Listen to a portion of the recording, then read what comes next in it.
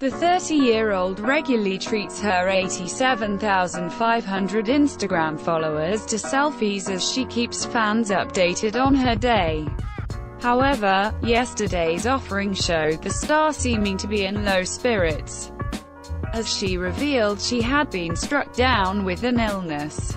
In a message posted on Instagram, the First Dates' favorite explained that she was suffering with a bout of tonsillitis. Reclining on a sofa in another capture, Cici appeared to be getting some much-needed bed rest.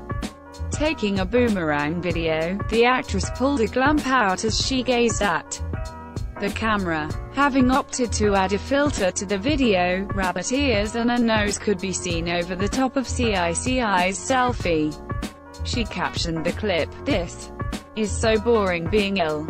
All I wanna do is eat. Sick. It came shortly after an upload which read, when it's one of your busiest weeks of 2018 and boom, someone throws tonsillitis at you. Dates viewers were left very surprised last week, after the Channel 4 show was moved from its regular Wednesday night slot, to instead be shown on Thursday. The shock move means that the remainder of the series will now air on Thursdays at 10 p.m. The official First Dates Twitter account confirmed the news, and have been on hand this week to remind viewers about the schedule change. A tweet shared earlier this week read, Don't forget. Left devastated by the program's new air date last week, with one distraught Twitter user writing, New. I just seen this. I was looking forward to tonight. Sick, another exclaimed, seriously.